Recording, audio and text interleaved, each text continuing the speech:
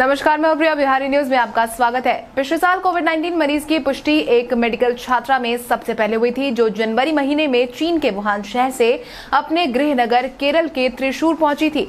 जिसके बाद से ही भारत में कोविड 19 के मामलों को लेकर हाहाकार मच गया था। त्रिशूल मेडिकल कॉलेज में ही लगभग तीन हफ़्ते तक उसका इलाज चला था और दो बार कोविड 19 की रिपोर्ट नेगेटिव आने के बाद उसे फरवरी महीने में अस्पताल से छुट्टी दी गई थी, क्योंकि अब पहला मौका था जब भारत में किसी कोविड 19 संक्रमित मरीज़ की पुष्टि हुई थी। और स्वास्थ्य विभाग के लिए भी यह नया मामला था, क्योंकि इससे पहले लगातार दूसरे देश में इस वायरस को लेकर खबरें आ रही थी। आपकी जानकारी के लिए आपको बता दें कि चीन का वुहान ही वो शहर है जहाँ पर कोविड 19 की उत्पत्ति होने की पुष्टि अब तक की जा रही है। ऐसे में वहाँ से लौटी छात्रा में संक्रमण के लक्षण देखना इस बात का प्रमाण पेश कर रहे थे। हालाँकि अब हैरान करने वाली बात यह है कि डेढ़ साल पहले पाई गई पॉजिटिव छात्रा एक बार फिर से कोविड 19 की चपेट में आ गई है। इसकी पुष्टि स्वास्थ्य विभाग की तरफ़ से की गई है। इसको लेकर त्रिशूर की डीएम ओ के जी रीना ने मीडिया हाउस से बातचीत के दौरान बताया है कि यह छात्रा फिर से कोविड 19 संक्रमित पाई गई है। उसकी आरटीपीसीआर रिपोर्ट हालाँकि नेगेटिव आई है। इसके साथ ही एंटीजन की रिपोर्ट भी नेगेटिव आई है। लेकिन चिंता की कोई बात नहीं है, क्योंकि कम लक्षण का संक्रमण छात्रा में फ़िलहाल बताया जा रहा है। इंडियन एक्सप्रेस की तरफ़ से साझा की गई रिपोर्ट के अनुसार केरल लौटी छात्रा ने कोविड 19 वैक्सीन की एक भी डोज अभी तक नहीं ली थी, जिसके बाद अब एक बार फिर से वो कोविड 19 पॉजिटिव पाई गई है। स्वास्थ्य विभाग के अधिकारियों की माने तो यह छात्रा दिल्ली की यात्रा करना चाह रही थी। हालाँकि राजधानी दिल्ली में सफ़र करने से पहले सभी यात्रियों को कोविड 19 की जाँच करवाना अनिवार्य किया गया है।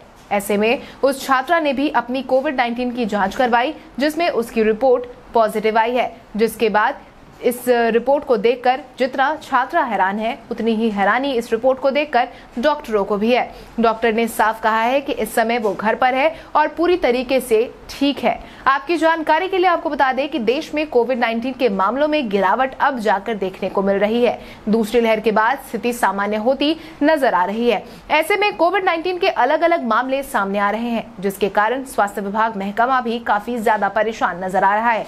हालाँकि आईएमए ने हाल ही में तीसरी लहर को लेकर भी चेतावनी जारी कर दी है, जिसके तहत आईएमए ने साफ़ शब्दों में कहा है कि जिस तरीके से कोविड 19 के मामलों में बढ़ोतरी देखी गई थी, उस हिसाब से तीसरी लहर ज़्यादा दूर नहीं है, क्योंकि जैसे ही नियमों में थोड़ी ढील दी गई है, वैसे ही पर्यटकों की संख्या पर्यटन स्थल पर बढ़ने लगी है। लोग सोशल डिस्टेंसिंग के नियमों का पालन नहीं कर रहे हैं, साथ ही मनमानी करते नज़र आ रहे हैं, जिसके कारण स्वास्थ्य विभाग भी काफ़ी ज़्यादा परेशान नज़र आ रहा है। इन सब के बावजूद हैरान करने वाली बात यह है कि कोरोना की लहर में भारत में कई लोगों की जान जा चुकी है। हालाँकि लोग इससे भी सबक नहीं सीख पाए हैं और दोबारा से वही गलती करते नज़र आ रहे हैं, जिसके कारण तीसरी लहर का आना वैज्ञानिक निश्चिंत रूप से तय मान रहे हैं। इसके साथ ही तमाम राज्यों में कोविड 19 के मामलों में कमी के साथ ही अनलॉक की प्रक्रिया भी शुरू कर दी गई है और बाज़ार भी पहले की तरह खोले जा रहे हैं।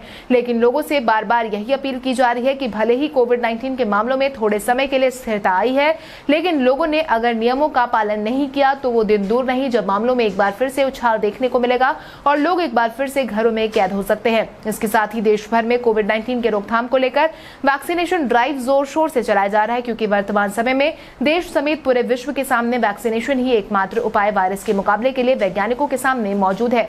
ऐसे में सभी लोगों से अपील है कि कोविड 19 के मामले को हल्के से ना ले और बेवजह घर से बाहर ना निकले। अगर निकले भी तो नियमों का पालन ज़रूर करें। इसके साथ ही आज के इस वीडियो में बस इतना ही। तब तक के लिए धन्यवाद।